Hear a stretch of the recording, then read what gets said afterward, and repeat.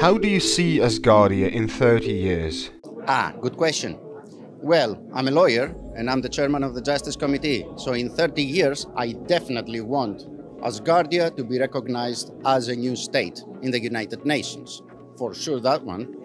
And of course, a lot in parallel with that. We're going to have, for sure, the uh, network of our satellites, low orbit, and more, and possibly other uh, um, orbital and celestial, even celestial uh, installations.